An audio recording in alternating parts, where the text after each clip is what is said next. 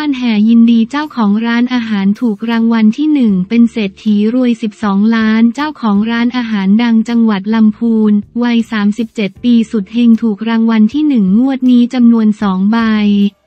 เป็นเศรษฐีรวย 12 ล้านบาท เพื่อนบ้านรู้ข่าวแห่ยินดีกันคึกคัก เมื่อวันที่หนึ่งกุมภาพันธ์ 67 ผู้สื่อข่าวรายงานว่าภายหลังจากที่กองสลากประกาศผลการออกรางวัลสลากกินแบ่งรัฐบาล งวดประจำวันที่หนึ่งกุมภาพันธ์ 2567 โดยรางวัลที่หนึ่งได้แก่หมายเลข 607063 รางวัลเลขท้ายสองตัวได้แก่หมายเลข 09 นั้น ตรวจหวยผลสลากกินแบ่งรัฐบาลงวดประจำวันที่ 1 กุมภาพันธ์ 2567 ปรากฏว่ามีผู้โชคดีถูกลอตเตอรี่รางวัลที่ 1 อยู่ที่จังหวัดลำพูนคือคุณเอกหนุ่มวัย 37 ปี เจ้าของร้านครัวล้านนาอินดี้อยู่บ้านแม่อาวน้อย ตำบลท่าตุ้มอำเภอป่าซาง จังหวัดลำพูน และยังเป็นพ่อครัวงานต่างๆ ในหมู่บ้านโชคดี ถูกรางวัลที่หนึ่งจำนวนสองใบ เงินรางวัล 12 ล้านบาทชาวบ้านและเพื่อนบ้านทราบข่าว ต่างเข้าแสดงความยินดีกันคึกคัก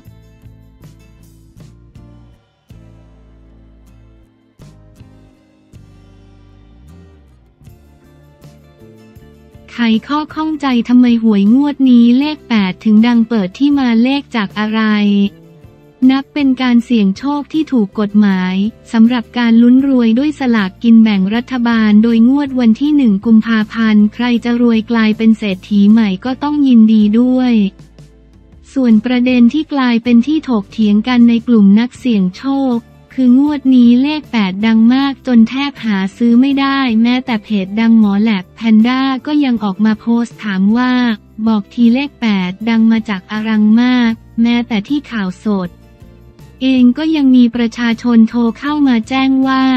หาซื้อเลข 8 ไม่ได้แน่นอนว่านักเลงตัวเลขทั้งหลายพยายามหาคำตอบกันใหญ่ว่าที่มาของเลข 8 ที่ดังสนั่นในงวดนี้นั้นมีที่มาจากอะไรกันแน่ เพราะหลายแผงก็หาซื้อไม่ได้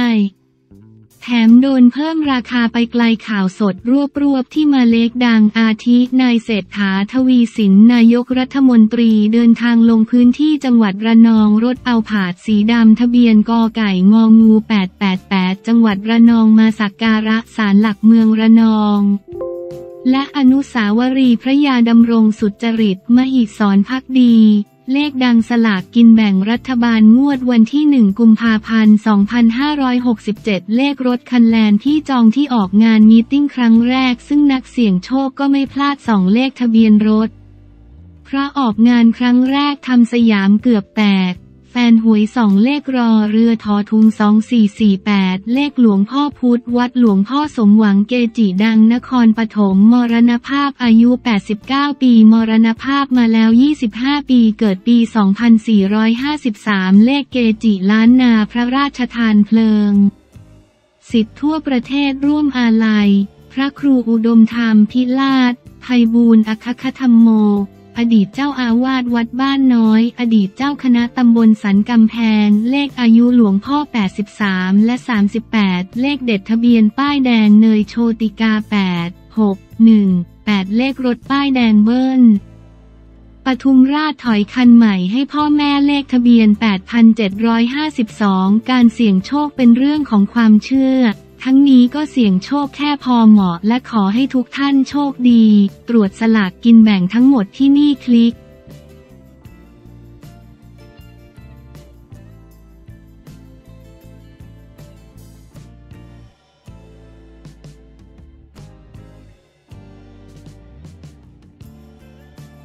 หมอเลียบ แจงอนุกรรมการแฟชั่นลาออกยกทีม อุ๊งอิ๊ง ชวนจับตาเคาะชุดใหม่วันที่ 9 กุมภาพันธ์นี้ หมอเลียบ แจงอนุกรรมการซอฟต์พาวเวอร์ด้านแฟชั่นลาออกยกทีมเผยมีข้อจำกัดด้านเวลา อุ๊งอิ๊ง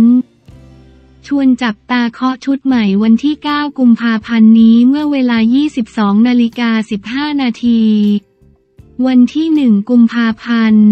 2567 นายแพทย์สุรพงศ์สืบวงศ์ลี เลขานุการกรรมการยุทธศาสตร์ซอฟต์พาวเวอร์โพสต์ข้อความถึงการลาออกของนางสาวกมลนาถ องค์วรรณดี ประธานอนุกรรมการขับเคลื่อนและพัฒนาซอฟต์พาวเวอร์ด้านแฟชั่นและคณะว่า การลาออกของคณะอนุกรรมการขับเคลื่อนอุตสาหกรรมด้านแฟชั่นชุดเดิม และการแต่งตั้งคณะอนุกรรมการขับเคลื่อนอุตสาหกรรมด้านแฟชั่นชุดใหม่หนึ่งผมขอขอบคุณคณะอนุกรรมการขับเคลื่อนอุตสาหกรรมด้านแฟชั่นที่คุณกมลนาถ องค์วรรณดีเป็นประธานอนุกรรมการซึ่งได้จัดทำนโยบายแผนงานงบประมาณ และมาตรการส่งเสริมอุตสาหกรรมแฟชั่น และสิ่งทอในขั้นแรกจนแล้วเสร็จ ด้วยการทุ่มเทกายใจและความคิดอย่างเอาจริงเอาจังสอง ผมทราบดีว่าภารกิจหลังจากวางแผนงานและได้รับจัดสรรงบประมาณปี 2567 จะเรียกร้องเวลามากมายจากคณะอนุกรรมการขับเคลื่อนซอฟต์พาวเวอร์ทุกอุตสาหกรรม ในการลงมือผลักดันผ่านหน่วยงานราชการที่เกี่ยวข้อง ประสานงานภาคเอกชนทั้งในส่วนกลางและต่างจังหวัด และติดต่อกับองค์กรต่างประเทศ ซึ่งผมเชื่อว่าคุณกมลนาฏก็ตระหนักในเรื่องนี้เช่นกัน 3. คุณกมลนาฏเล่าเรื่องข้อจำกัดด้านเวลาของตนเองให้ผมรับรู้ตั้งแต่เดือนธันวาคม 2566และบอกว่าจะขอส่งต่อภารกิจที่หนักหน่วงให้ท่านอื่นในอุตสาหกรรมแฟชั่นหลังจัดทำแผนงบประมาณแล้วเสร็จ ผมจึงดำเนินการติดต่อหลายท่านในวงการแฟชั่น เพื่อเตรียมรับภารกิจสำคัญนี้ สี่